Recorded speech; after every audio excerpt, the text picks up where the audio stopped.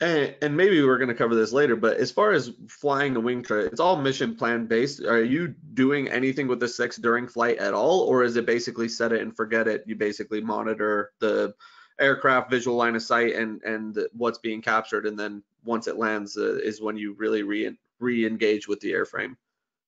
Yeah. So once you do the the the mission planning, you just push play and it goes. Like goes up, does the data collection, it comes down.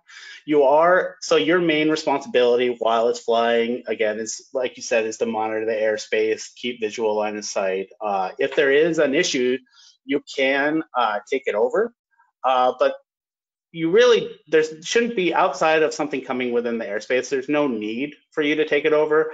And even when it's landing, say where you're landing, somebody had parked a car like right where you're landing. Sometimes that happens on a construction site.